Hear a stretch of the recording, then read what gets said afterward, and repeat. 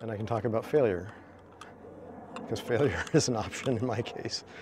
Uh, there's a new open source satellite in orbit right now, and I want to see if I can hear the radio beacons that it transmits. The Portland State Aerospace Society has developed their own satellites uh, made right here in Portland, Oregon on the west coast of the United States. And just last week, they got it launched on a SpaceX transporter mission. So it's in orbit right now. It's in a uh, kind of a polar orbit, so it flies from north to south or south to north, depending. I'm at Frenchman's Bar on the Washington side of the Columbia River. And it seems like a good open space that I can use to, uh, to try and listen to the satellite. First, let me describe my setup here a bit. This is a Yagi antenna that's designed for two different frequency bands, depending upon which of these purple elements you attach. Right now I've got the elements for the 440 megahertz band, and the satellite transmits at 436.5, so that's close enough. This should do quite a good job of receiving the satellite.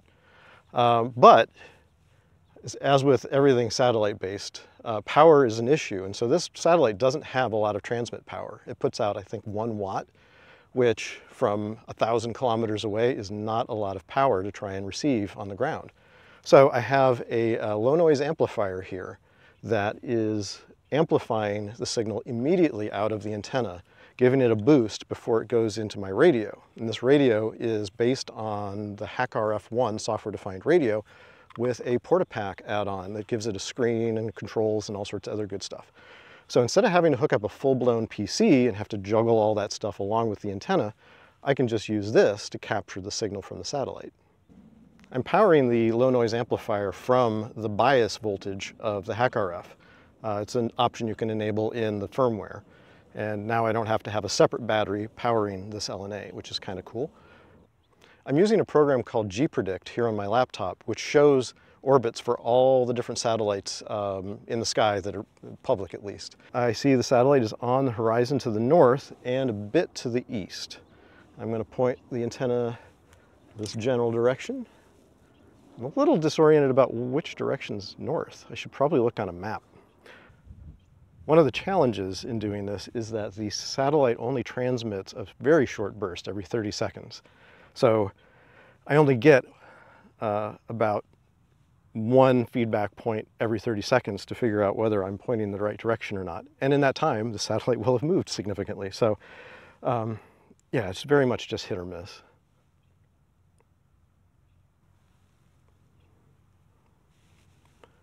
So it's about 30 degrees above the horizon now. I think that's about 30 degrees. Still uh, significantly east, so maybe like that. I'm getting a bit more background noise than I would expect to get right now. Um, makes me wonder if I'm pointing at some sort of a cell tower or something that's causing interference. Um, but we'll see when we're done whether we get any viable bursts from the satellite that we can actually decode.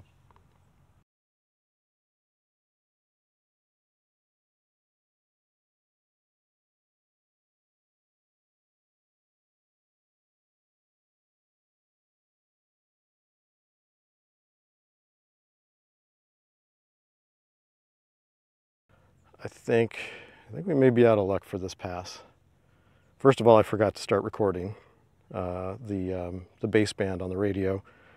And secondly, it just seems a lot noisier out here than I would have expected.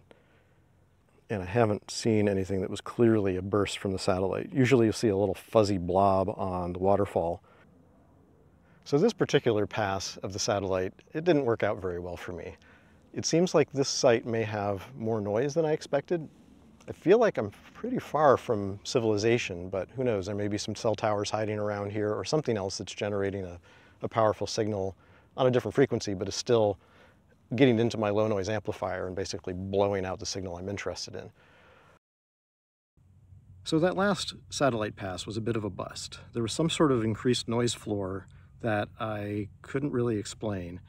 And I I, I am suspecting that it's the low noise amplifier being saturated due to some sort of local interference, some powerful signal of some sort nearby.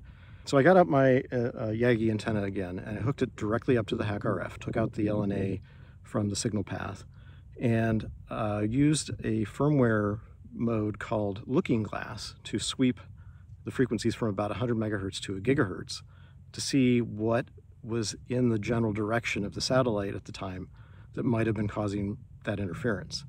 And I found a few things.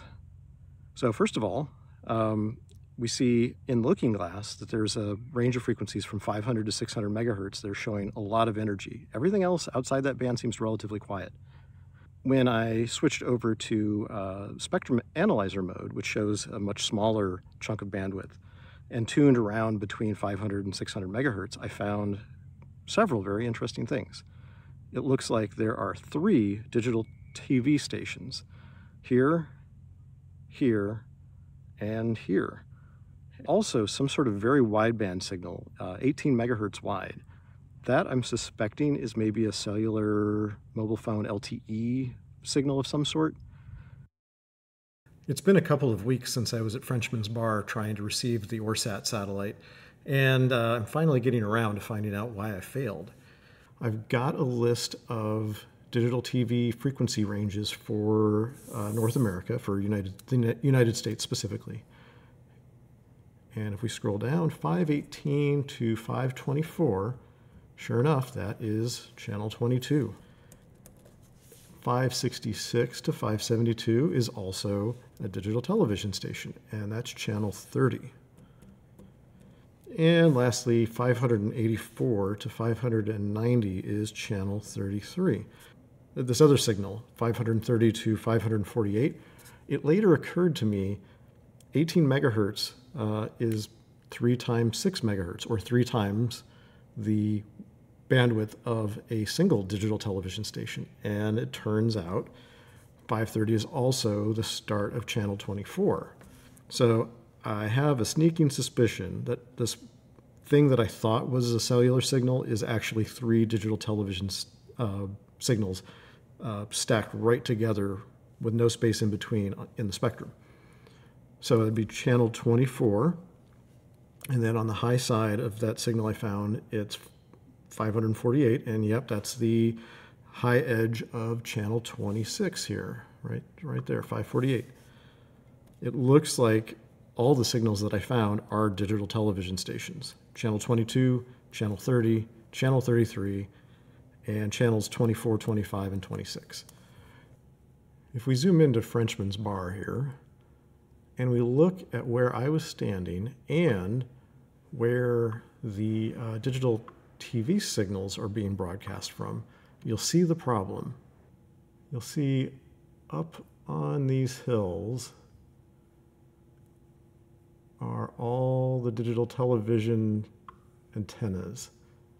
And I think these antennas put out like hundreds of kilowatts worth of power and they're all line of sight. They're all just blasting straight into my antenna.